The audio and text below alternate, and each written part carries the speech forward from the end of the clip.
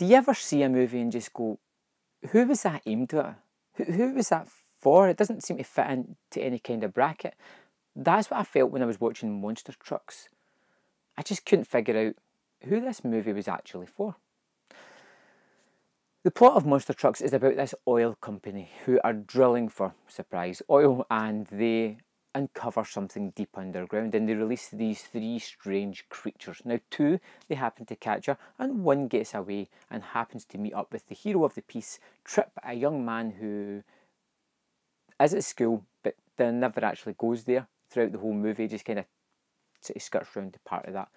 Um, he meets up with a creature who he names Creech because, you know, he doesn't really go to school, so he's not getting any better ideas of what to call it. And he discovers that this thing eats oil and uh, it kind of jams itself under a truck and by touching the axle can make the thing go. So it's kind of like a, a of alive engine.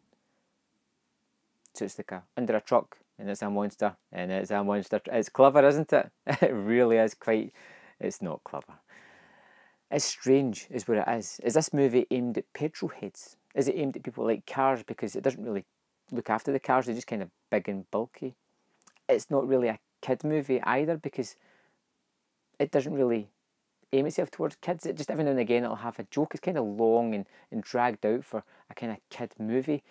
And as it started, I found myself kind of curious where it was going to go. I wanted to see what the creature looked like, and it's just a squid. But I kind of was engaged. I liked where it was going. I liked the fact that the trip was an outcast and he has found this creature to help uh, uh, make a car go, even though he works in a scrapyard, has access to all these engine parts, but still can't make his truck actually work. You have this sideline story of his father abandoning him, and that doesn't really come to anything. He hates his kind of stepdad, and that just resolves itself in a typical way that even without me telling you, you'll know how that resolves itself later on in the movie. There is a guy who works for the oil company who just thinks that what they're doing is just wrong. The nobility in this guy.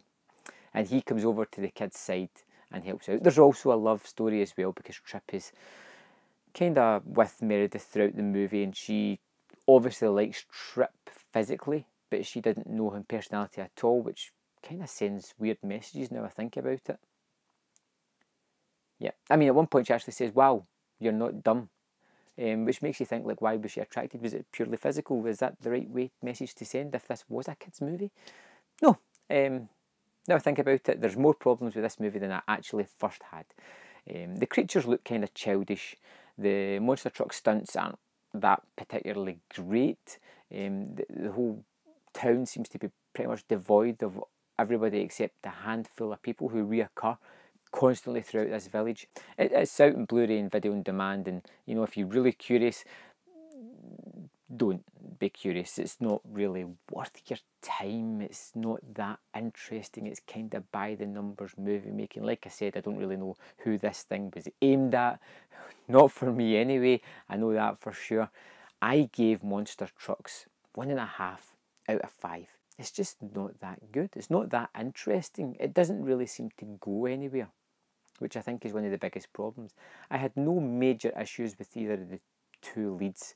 I had no issue with the sort of monster, even though it, we don't see much of it as I would have liked to. I just feel it's a kind of hollow movie that has nothing really to offer.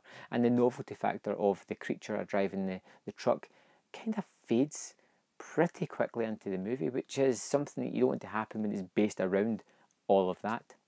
Have you seen Monster Trucks? Did you like it? Did you not like it? Let me know in the comment box below why I'm wrong, right, or just indifferent to this movie, and I will see you next time on Man vs. Film.